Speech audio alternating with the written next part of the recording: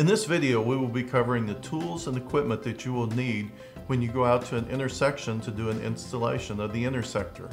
What are these tools, Brian? Yeah, we have a basic angle meter, which is going to show the tilt of the intersector pointing down.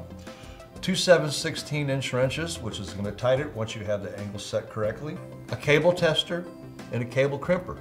These all come in the install kit from MS Sedco.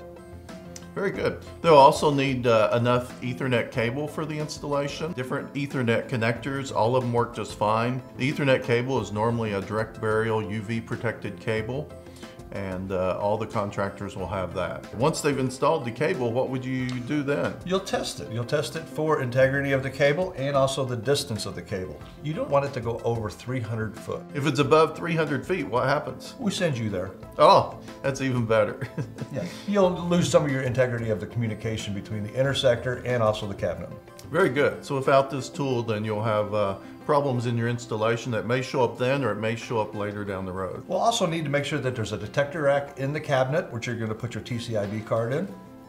And the power supply. For the power supply, we recommend at least one amp per intersector that you're going to install. So you need to make sure that the power supply has enough capacity for it. Why is that?